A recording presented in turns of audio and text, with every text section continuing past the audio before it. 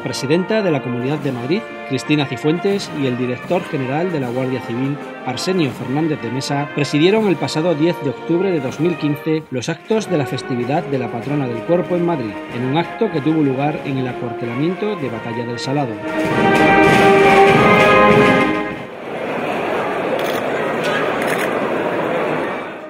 En el mismo acto se han impuesto numerosas condecoraciones, entre las que destacan la Cruz de Plata al Mérito de la Guardia Civil y la Cruz de Mérito de la Guardia Civil con distintivo blanco.